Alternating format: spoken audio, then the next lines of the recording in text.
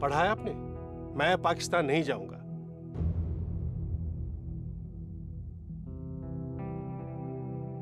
Sir मेरे से नहीं होना।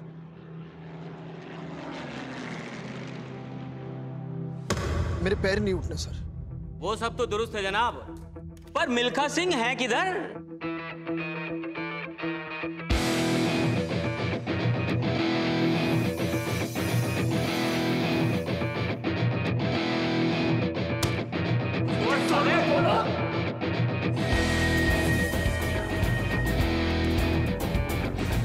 फ्लाइंग सिख मिल्खा सिंह की लाइफ पर बेस्ड और 2013 की द मोस्ट अवेटेड फ़िल्म भाग मिल्खा भाग फिल्मी फ्राइडे पर रिलीज़ हो गई है।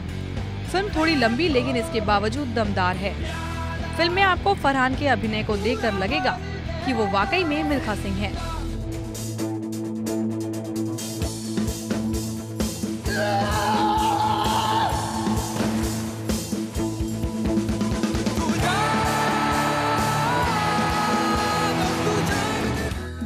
फ़िल्म में सोनम कपूर और दिव्या दत्ता अपने अभिनय से वाहवाही बटोरने में कामयाब तो रही हैं। तेरे नाल।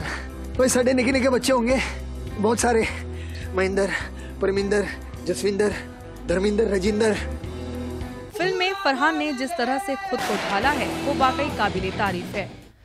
फ़िल्म की कहानी बात करें फ़िल्म की कहानी की तो फ़िल्म की शुरुआत होती है रोम से। 1960 में यहाँ हुए ओलंपिक में गोली की रफ्तार से अपनी मंजिल की ओर दौड़ता मिल्खा सिंह यानी फरहान एक पल पीछे मुड़कर क्या देखता है कि मानो उसकी तकदीर ही बदल जाती है।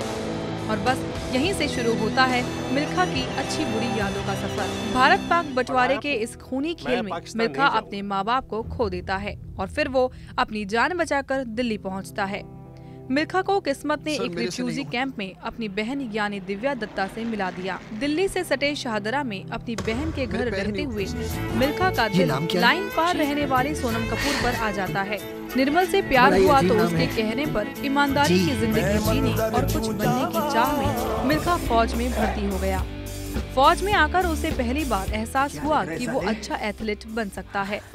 मिल्खा ने अपने सपने को साकार करने के लिए काफ़ी पसीना बहाया। ट्रैक पर जख्मी पांवों से दौड़कर भी देश को कई पदक दिलवाए।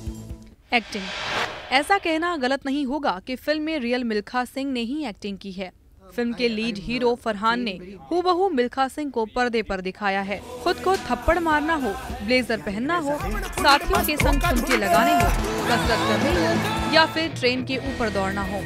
इन सभी पलों को देखने पर ऐसा महसूस होता है कि वाकई फरहान ने फ़िल्म के लिए बेहद मेहनत की है।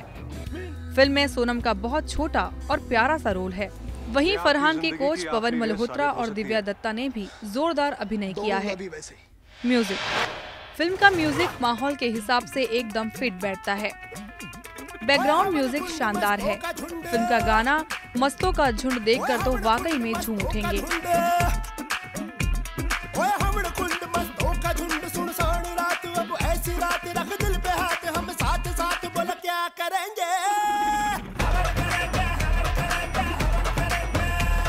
वहीं फ़िल्म का गाना ज़िंदा है तो प्याला भर ले, रिलीज़ से पहले कई म्यूज़िक चार्ट में टॉप फाइव के लिस्ट में शुमार हो चुका है।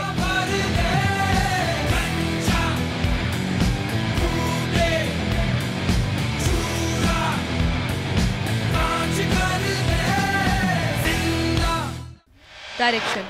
रंग दे बसंती जैसी सुपरहिट फ़िल्म डायरेक्ट कर चुके राकेश ओम प्रकाश मेहरा ने फ्लाइंग सिख मिल्खा सिंह की लाइफ को पर्दे पर जीवित करने के लिए जान लगा दी। उन्होंने स्क्रिप्ट के साथ अच्छा जस्टिस किया है।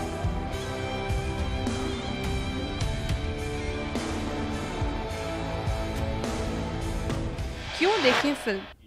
अगर आप मिल्खा सिंह की लाइफ के बारे में जानना चाहते हैं और फरहान का दमदार अभिनय देखना चाहते हैं तो भाग मिल्खा भाग आपके लिए सबसे बेस्ट ऑप्शन है सिनेमा घर जाने के लिए। फ़िल्म को हमारी ओर से पाँच में से चार स्टार शोभित शर्मा के साथ माधुरी टाक જાણો દુનિયા